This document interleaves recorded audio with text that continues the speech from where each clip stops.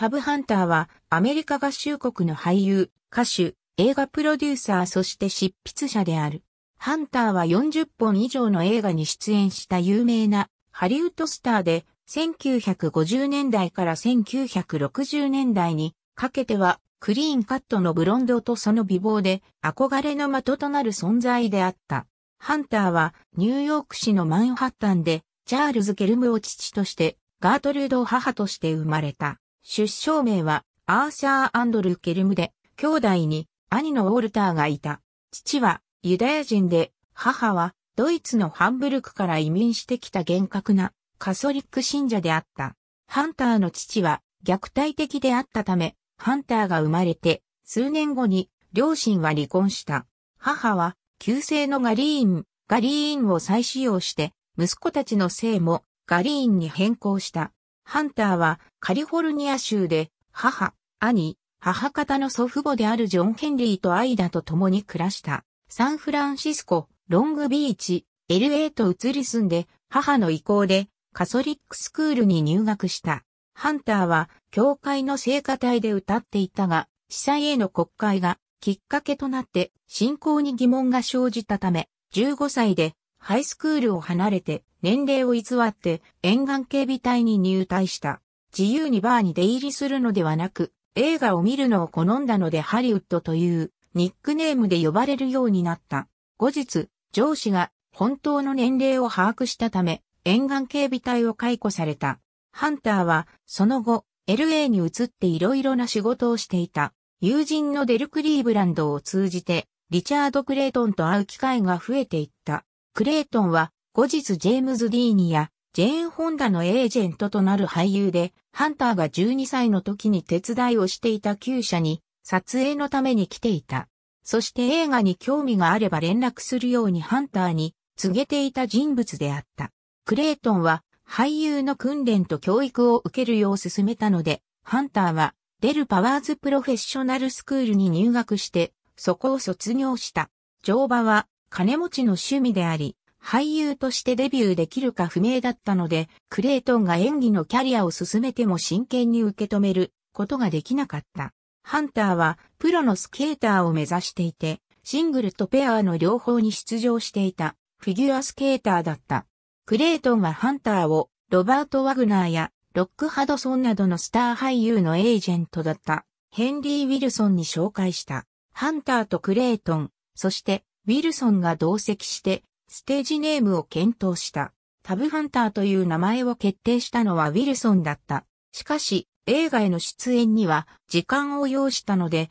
その間ハンターはスケーターとしての訓練に専念していた。ハンターの最初の映画はフィルムノワール、暴力の街の小さな役での出演だった。ハンターはキャラクター俳優のポール・ギルフォイルと友達で、ギルフォイルはスチュアート・ヘイスラー監督に映画、孤島の愛情で、リンダ・ダーネルの相手役にハンターを進めた。監督は未知の新しい俳優を探していたため、ハンターを起用した。本質的に、ダーネルとハンターの二人が主演の映画はヒットした。ハンターの最初のステージ作品は、ソーントン・ワイルダー作の我が町でロベロシアターでの上演に、ジョージ役でマリリン・アースキンと共に出演した。次の映画出演は、エドワード・スモールがプロデュースした、ジョージ・モンゴメリーが主演したウエスタン映画のビリー・リンゴのガンベルトであった。スモールはハンターを再び起用して、ロッド・キャメロンが主演したアクション映画の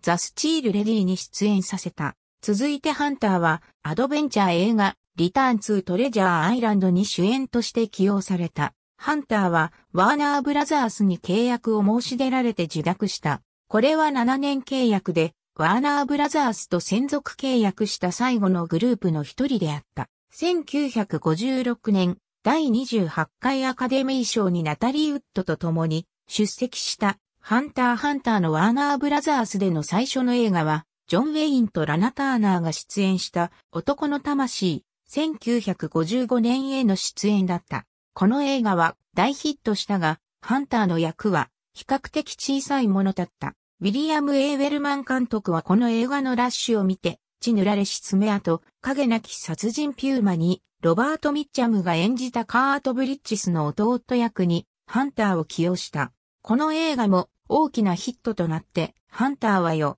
多くの注目を集め始めた。ハンターがさらに有名になったのは、第二次世界大戦ドラマの映画、愛欲と戦場に若い海兵隊員のダニーとして出演した時からであった。この映画は、レオン・ユリスのベストセラーに基づいて、ジャック・ワーナーがプロデュースしたもので、ハンターのキャラクターは、年上の女性と恋愛関係にあるが、最終的には、ガールネクストドアと結婚するというものであった。これは、ワーナーブラザースの1955年の最大の予算の映画であって、ハリウッドの若いロマンティックなトップ俳優の一人として、ハンターの地位を固めた。ハンターはその年の人気があった映画の3番目と10番目に出演していた。1955年9月、タブロイド雑誌コンフィデンシャルはトップの記事に、ハンターが1950年にゲイを対象としたパジャマパーティーに参加して無秩序な行為を行ったとして逮捕された。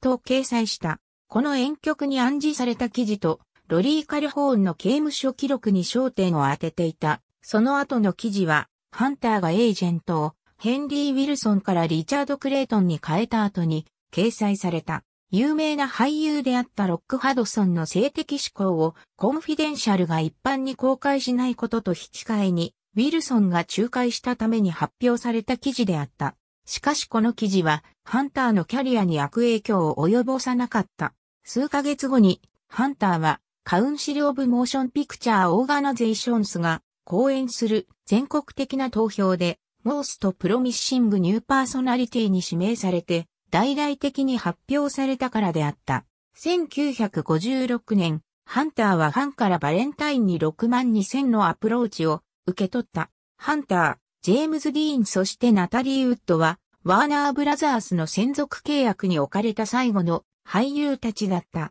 ワーナーブラザースは、ハンターの待遇をスターとしてプロモートするように変更した。ハンターとナタリー・ウッドによる作品は、スチュアート・ヘイスラー監督のウェスタン映画の果てしなき決闘とサービスコメディの映画ザガール H.E. レフト・ビハインドがあった。これらの2作品は観客に支持されてヒットしたことが明らかで、ワーナーブラザースは、ハンターとウッドが出演する3番目の映画を計画した。ハンターはこの申し出を拒否して、ハンターとウッドを1950年代のウィリアム・パウエルとマーナ・ロイにするというワーナーブラザースの試みは失敗した。1950年代のハンターのキャリアはピークに達した。ウィリアム・エーウェルマン監督は戦争映画の壮烈、外人部隊でハンターを再び起用した。また、コロンビア映画は、ハンターが好んだ役であると思われたため、ウェスタン映画、草原の野獣の出演にハンターを借り出した。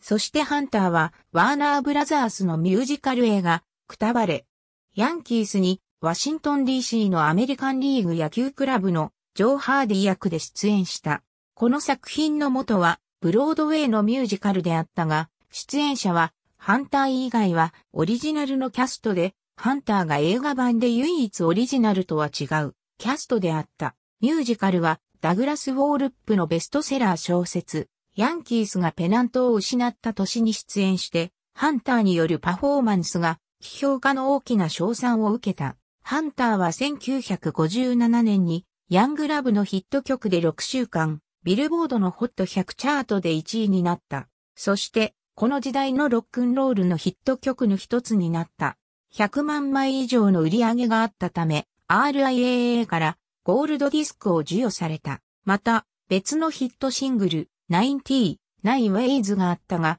これは USA で11位、UK では5位であった。この成功によって、ジャック・ワーナーは、ハンターがシングルをレコーディングした、ドットレコーズ、ライバルのパラマウントピクチャーズが所有していたから、アルバムをリリースすることを禁止した。そして、ワーナーブラザースとしてのレコード発売を計画したため、ハンターの専用とも言えるワーナーブラザーズレコーズを設立した。1958年以降ハンターはワーナーブラザースのためにレコーディングした。ハンターは年齢の関係でミュージカル映画ウェストサイド物語でトニーの役を獲得できなかった。同時期にオファーがあった TV コメディ恋の手ほどき教えましょうへの出演に同意して36のエピソードに出演した。このショーはエド・サリバン賞に対抗して放送されていたため、評価は中ほどで1シーズンで終了した。しかし UK ではヒットしてその年の注目されているコメディの一つにランクされた。ハンターはデビー・レイノルズが関心を寄せているロジャー役で結婚泥棒に出演した。また、イタリアで黄金の矢に手に負えない暴れ者の発散役で出演した。そして、エイプの戦争映画、オペレーションビキニに出演した。1964年に、ハンターは、テネシー・ウィリアムズの牛乳列車はもうここには止まらないに、タルラー・バンクヘッドと共に、ブロードウェイのブルックス・アトキンソンシアターで上演された公演に出演した。しかし、この公演は4日間で打ち切りとなった。次の映画出演のライド・ザ・ワイルド・サーフは、コロンビア映画のビーチパーティー形式のロマンティックドラマで20世紀フォックスの映画トラブルド・ウォーターズが続いた。そして AIP の別の映画のウォーゴッツ・オブ・ザ・ディープに出演するためにイングランドに滞在した。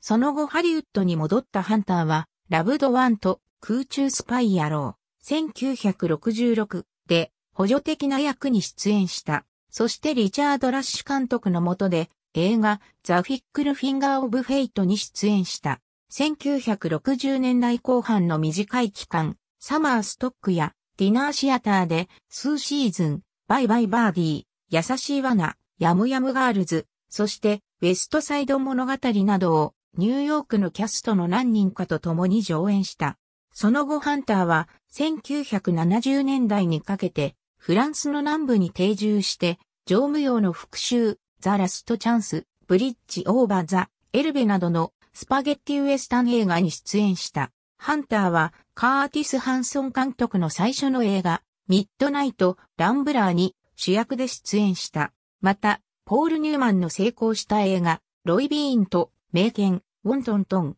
そして TV 映画、ケイティ、ポートレート・オブ・エー・センターフォールドに小さな役割での出演を果たした。1977年に、ハンターは TV シリーズ、メアリー・ハートマン、メアリー・ハートマンで、ジョージ・シムウェイを演じた。これは、コメディ作品で、主役のメリー・ハートマンの父の役であった。ハンターのキャリアは1980年代に復活した。ジョン・ウォーターズ監督のポリエステルとポール・バーテル監督のラストインザダストで俳優のディバインと共演した。また、グリース2では代理教師であるスチュアート役で出演してリプロダクションを歌った。そしてハンターは1988年のホラー映画キャメロンに重要な役で出演した。ハンターは彼の最後の映画であるダークホースのオリジナルストーリーを書いて提供してパーキンス役で出演した。ハンターの人生に関するドキュメンタリー映画、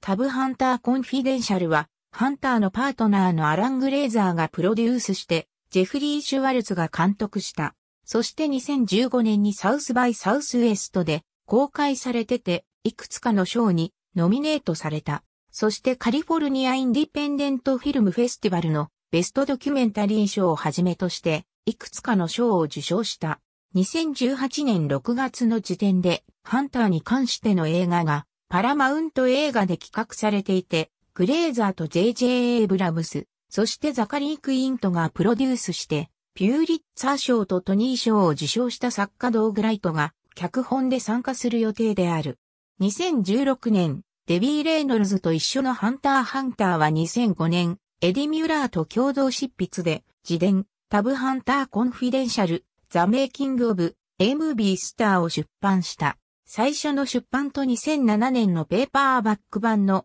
リリース時にニューヨークタイムズのベストセラーになった。この本はいくつかの賞にノミネートされたが、この本に基づいたドキュメンタリー映画のリリースに伴い、2015年6月28日にニューヨークタイムズのベストセラーリストに3度目のリスト入りを果たした。ハンターはこの本の中で以前から名前が知られていて噂が広まっていたが、自身が同性愛者であることを認めた。ニューヨークタイムズのウィリアム・エル・ハミルトンによると、友人であるデビー・レイノルズやナタリー・ウッドとハンターとのロマンスは厳密にはワーナーブラザースの宣伝部門が作成したものであったが、ナタリー・ウッドとハンターのロマンスがよく知られていたので、この本では、ナタリー・ウッドタブードゥントという見出しを編集部が独自に作成しなければならなかった。ワーナーブラザースでの時代について、ハンターは話している。人生は私にとって難しいものでした。当時私は二つの生活を送っていたからです。私自身のプライベートは誰にも話さず、決して論じませんでした。そして、以前の私のハリウッドの生活は、私が少しずつ手探りで学んで成功しようとしていたから、ハンターは、ゲイという言葉が当時は存在していなかったことを強調した。当時は、私の周りには存在しませんでした。そして、誰かが私に直面させた場合には、私はただちょっとおかしいという状態になりました。そして完全に否定的でした。仕事のプロセス以外は、ハリウッドのシーンは快適ではありませんでした。私のセクシュアリティについて多くのことが書かれていて、報道はかなり残酷なものでした。そして、続けた。人々は信じたいことだけを信じています。映画ファンが心に抱きたかったのは、私が描写したボーイネクストドア、海兵隊員、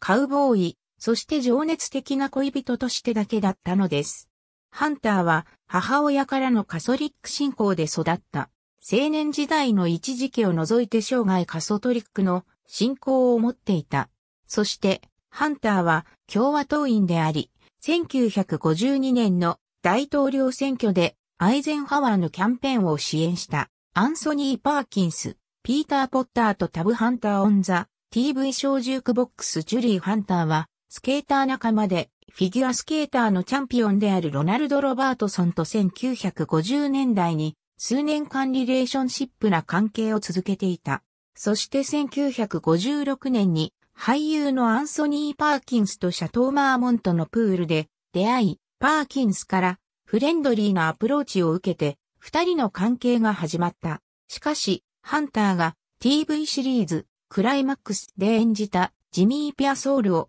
映画栄光の旅路でパーキンスが演じてからは、次第に疎遠になっていった。ハンターは、1958年の映画、壮烈。外人部隊で出会ったエチカ修郎との結婚を真剣に考えていた。しかしカソリックのもとで育てられたハンターは、それが彼女にとって、そして自分自身にとっても不公平であることを知っていた。仲間のクローズド俳優の多くは、そのような道徳感情を抑えて結婚したが、ハンターは、そのような妥協をする準備ができていなかった。あなたが男性と一緒だったら、あなたは罪を犯していたと感じたでしょう。しかし、あなたが女性と一緒だったら、あなたは嘘をついていたことになるでしょう。ハンターは乗馬を通じて知り合ったニール・ヌアーラグと7年の長いリレーションシップ関係にあった。そしてその後、映画プロデューサーのアラン・グレーザーと映画ラスト・イン・ザ・ダスト制作のためであって、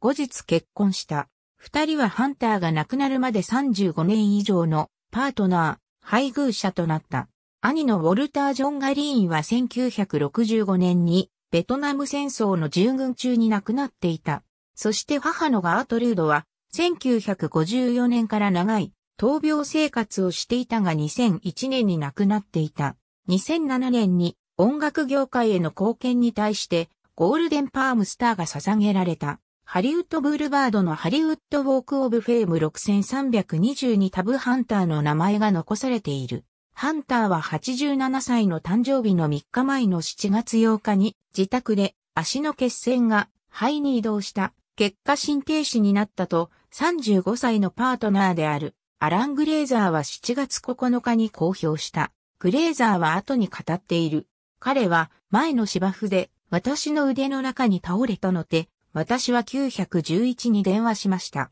私たちは彼を病院に運び込みました。それは突然で予想外のものでした。ハンターはニューメキシコ州の牧場でしばらく暮らしてから、1983年からパートナーとなっていたグレーザーと一緒にサンタバーバラ郡のモンテシートに自宅を構えた。ハンターは2頭の馬と2匹のウィペット、そしてグレーザーと共に残りの人生をモンテシートで過ごしていた。葬儀は自宅のあるモンテシートの近くでプライベートセレモニーとして取り行われた。ヤングラブ、ザベストオブタブハンター、エリックレコーズ、ありがとうございます。